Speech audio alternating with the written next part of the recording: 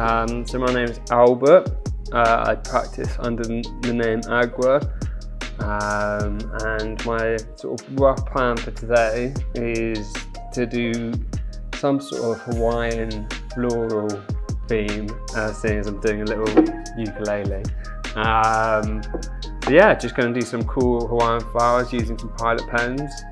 And yeah, hopefully it'll cool.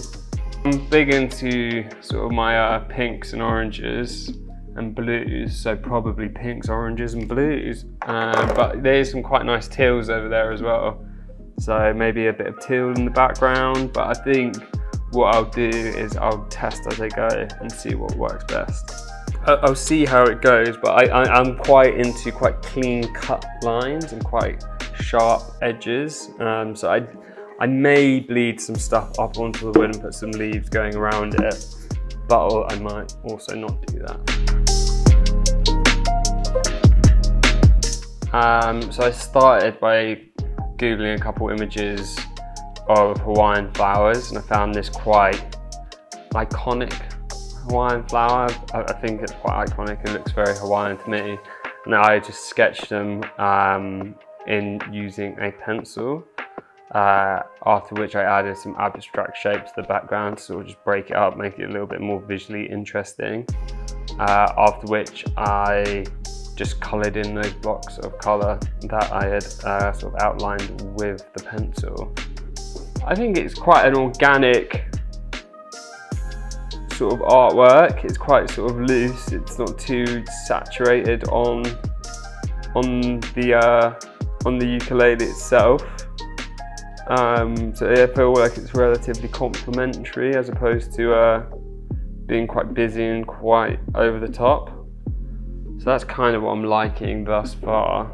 Next steps, I'm going to take the strings off and just do a similar sort of pattern I've done on the back on the, I don't know what bits of guitars are called or ukuleles are called, uh, but on the front I'm gonna do, I'm gonna do some uh, some more flowers and shapes and stuff.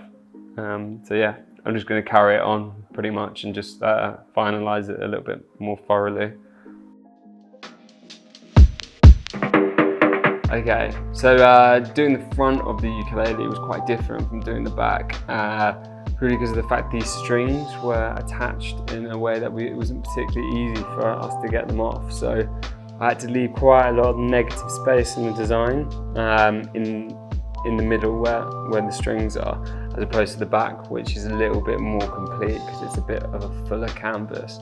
Um, the surface is a little bit uh, tricky. I think sanding the wood or priming it would have been uh, better for getting a, a, more sort of flat, clean finish, which I, I quite like for my work, uh, as opposed to it being a little bit more uh, washy.